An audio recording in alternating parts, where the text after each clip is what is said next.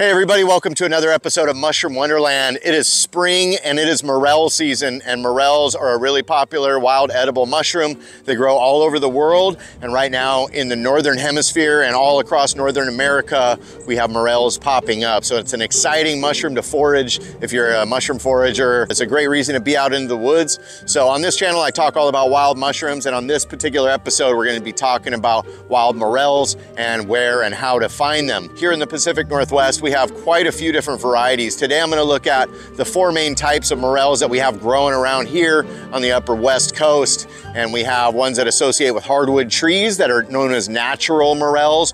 We also have early morels or verpa that grow in those same kind of habitats. We have half-free morels that also grow in that same kind of habitat. We also have landscape morels and we have burn morels and we also have a conifer-loving morel. So on this episode, I'm gonna show you all these different kind of morels, their habitats, so this is the morel episode, get you geared up for this spring to get out there and find yourself some delicious wild edible mushrooms with the help of Mushroom Wonderland. So make sure to hit subscribe and come with me on this episode.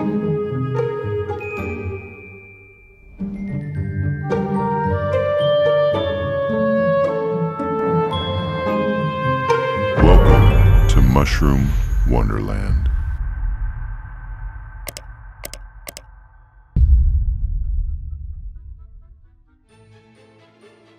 So it should be understood that in mushroom lingo, we have common names and we have scientific names. Scientific names are typically Latin, they're big tongue twisters. So most people, uh, layman's people, like to just stick with the common names. So let's go over a list of the more common names for some of the morels. So we're gonna have false morels. And this typically is talking about the genus Gyromitra um, Gyromitra esculenta is one that is known to be poisonous. There's ways to detoxify it, but over the ages, people have been sickened and even died from eating um, these Gyromitra esculenta. So Gyromitra falls under the heading of false morel.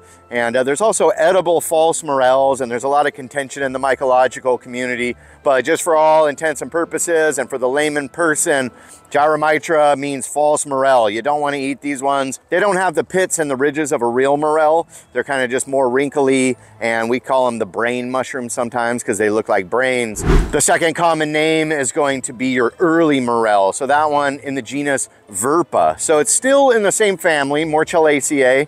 is going to be just like one of the other morels. You could treat it just like one of the other morels. Just make sure that you cook it well uh, before you serve it. But this one looks a little bit more like Gyromitra, a little bit less like morel, but it has a cap on a big white stem. It's got some wrinkly kind of stuff going on on the cap, but again, no pits and no holes in it. So Verpa, Bohemica, our most common early morel that happens here in the West. Still a good edible, but definitely inferior to real morels. Then we have half-free morels, and these are gonna be ones where the bottom of the cap is not attached to the stem. So they have a unique look, sort of a umbrella, more of like a real regular mushroom look, you know, the cap and it hangs over the stem, whereas a real morel is going to be all fused, in, you know, one piece. The stem and the cap are not separated, whereas a half-free morel, it's halfway separated. The stem comes halfway up into the cap and it kind of hangs over the edge. And then we have our true morels, which would include your burn morels and your natural conifer morels and your cottonwood morels. All of those other ones, the blonde morels, they all kind of fall into the morel category. So we're gonna have false morels, we have early morels, we have true morels. And some of those are black and some of those are blonde and some of those are burn morels. And as you get more into this, you'll start to decipher the true morels amongst each other. But true morels are always kind of hollow cavity in the center. They're gonna have um, these pits and crevices. Some of them look like little ladders. And uh, they all sort of have this same look with all the little holes, kind of like a corn cob that's got all the corn taken off of it. So the first type of morel that we're gonna look at is gonna be the burn morel. And burn morels are infamous for um, being kind of where the commercial morel pickers go. Uh, wherever a forest fire burned, usually the next spring, a lot of morels will pop up. Uh, people and scientists are still a little bit unsure as to why they flush the way they do after a burn. We just know that it does happen. Could be the soil got conditioned just right. It could have something to do with the symbiosis with the trees that they were growing with. We're gonna hop into a segment where I actually went out to a burn in the past couple of weeks and there's a short bit about how to find burn morels in Washington State. Let's go check that out out. We're gonna go for a walk in this burned area, see if we can come across some burn morels here in the spring. One of the most delicious wild edible mushrooms that you can find in the spring. Oh my gosh. And as I'm saying this, I see someone right here. Just as I'm saying that. Wow. What are the chances of that? I swear I did not plan that. There, there, there. Oh my gosh. I see quite a few. So this is where I get out my handy knife and I'm gonna cut it at the base and I put them into this mesh bag. These are nice and young, really nice, beautiful morels, and uh, oh, that's always exciting.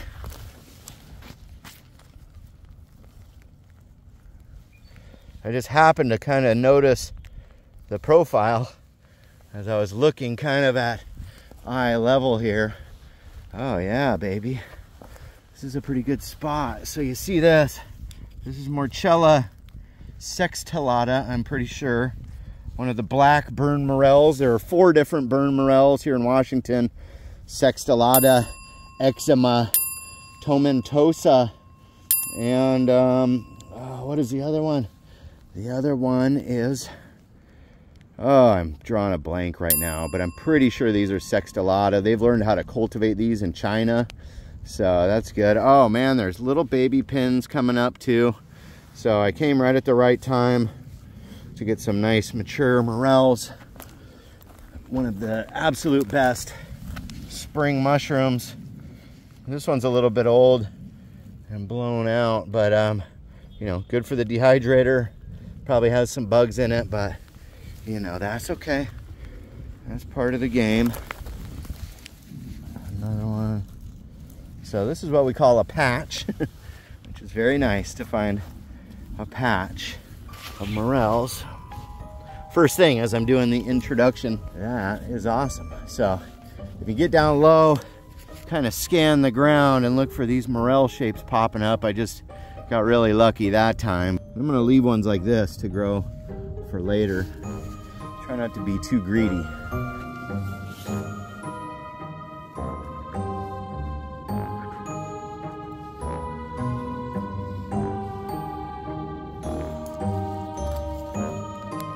So your first year burn is gonna by far be the best. You know, the burn that the spring after the fire is usually the best for morels. And then the second year burn, you can still find morels, but it's a little more hit or miss. And then after that, it's just kind of a crapshoot. If you find some, it might just be coincidental. So if you've heard about a, a fire that happened last year, make sure to get out there this spring and uh, you know, your chances will be the best.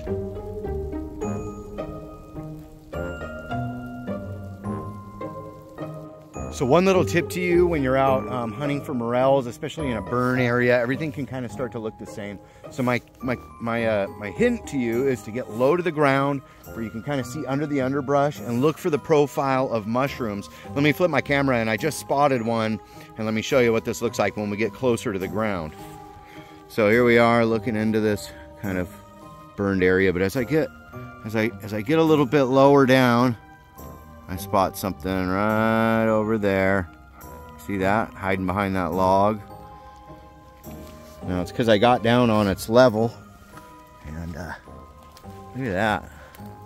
Beautiful morel, but I can see the bugs just buzzing around it. You see that? That's going to be so full of larvae and stuff. Um, still good for the dehydrator, I guess, if you don't mind eating larvae. Um, yeah, definitely one of the best spring mushrooms you're gonna get is gonna be your morels. Look at that one, it's beautiful. Very light colored. As they get older, they get darker, but yeah, gorgeous morels out here. All right, so I definitely got a good haul of uh, morels today. Got really lucky finding all those beautiful blondish morels. So very satisfied with this spring mushroom. So hiking in a burn environment is really inhospitable. So make sure that you have some good gear, some good uh, shoes or boots and long pants, man. Because if you're wearing shorts out here, you're gonna get scratched up on all these little sticks and stuff. And uh, you might not feel it when it happens, but later at night, you're gonna be hurting from that soot in your wounds. So become to, you know, it's not that easy to find these mushrooms and to go out and seek them, but it's way worth it and it's a lot of fun. Just be careful out here. It's hazardous for sure.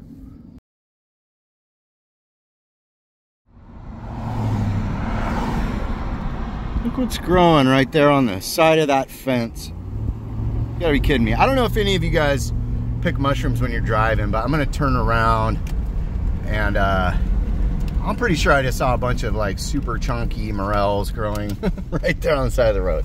Let's go check this out. Some mushrooms, oh my gosh. Do you see that what I see? Oh. Where's my knife? I don't have my knife here. Grab this plastic bag.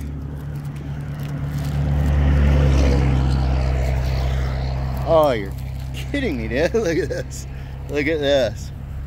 Holy smokes. Dude, they're everywhere. Score. Look at this. Morchella importuna, or the landscape morel. These guys growing here next to this fence. Holy crap. They're tough. Tough stems. These are a great spring mushroom growing right here on the side of the side of the road. I spotted these from a ways off. And uh, holy crap, they're all over here. Look at that. What a score. Wow. A couple more right down here. Look at this. Look at how young and fresh these are. Holy crap. This is in March. Washington State. Is kind of like new construction along here. Unbelievable. Look at down here. Holy crap, you guys. You see all this? Morchella importuna. Just bunch. Very nice. All right, there they are. Better look at the Morchella importuna or the landscape morel. Very conical, very pointy, right? They start to get really kind of wrinkled at the base when they start getting older. Um, and you can see in a really old one, very blown out. What you can do with these old ones is chop them up, mix them with some water, and just pour them over some new wood chips somewhere, a new garden area, and you might get lucky and have some of them pop up. But they're always very tall and skinny, very saprobic. They don't need any trees to associate with. These mushrooms are free living, and for that reason, they could be cultivated, and they've kind of perfected that art in China. We struggle in America and elsewhere, but the methods are pretty available online now on how to cultivate these. So I could take a spore print and just start from scratch, but it's kind of a lot of work. I'll leave that to other people. But this one, Morchella importuna, really delicious spring mushroom that's edible and fairly common. And sometimes they can grow in huge numbers. So you can get a really nice basket full like I did today. Very exciting. Good, so you guys saw that, right? There's like a couple pounds of morels I just found. Just growing right on the side of the road next to this new fence that went up. New construction is a good place to look for Morchella importuna, new landscapes. So, big fat bag of morels, great spring mushroom. Now I want to go see if we can find some natural morels that associate with the fir trees. So we're going to head out to a different forest. Let's go check that out. These ones known as uh, Morchella norvegiensis, or perhaps an undescribed species that associates with conifer trees. So deep in our moss-covered forests here of the PNW, you can sometimes find these beautiful blonde-colored morels popping up, and I find them every spring in the same place. Some of the best eating, but definitely some of the hardest to find and uh, some of the most rewarding though. So let's go deep into the conifer forest of Mushroom Wonderland to discover the conifer deep woods loving natural morels. Look at this. Now we're talking some morels. Look at that. Look right over here. Oh, gorgeous.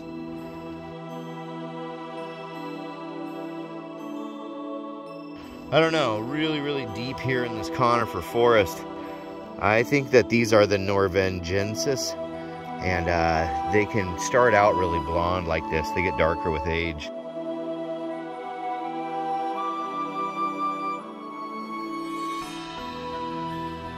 Morel season is officially on in Western Washington. Look at this guy. How nice is that? Very nice.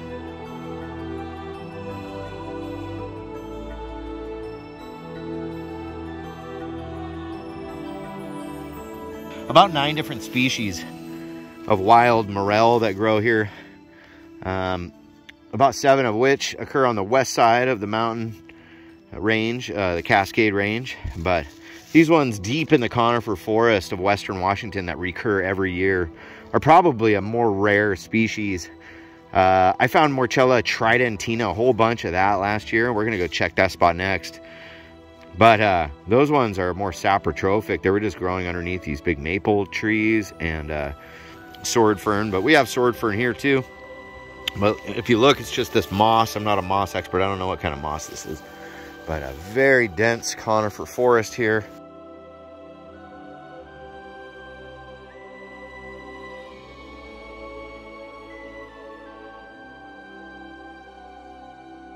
Beautiful example of young morels in the wild. How exciting. You got to get out there and find some of these guys.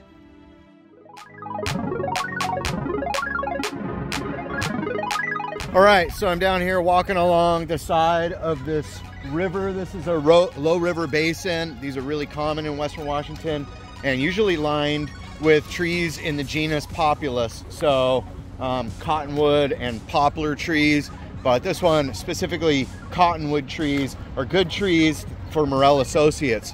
So, you know, there's a, a big river running right here, one of the mini rivers in Western Washington. And it's gonna have these cottonwood trees growing here. And this is where a lot of morels grow. So we're gonna check out this area, see if we can find some natural morels.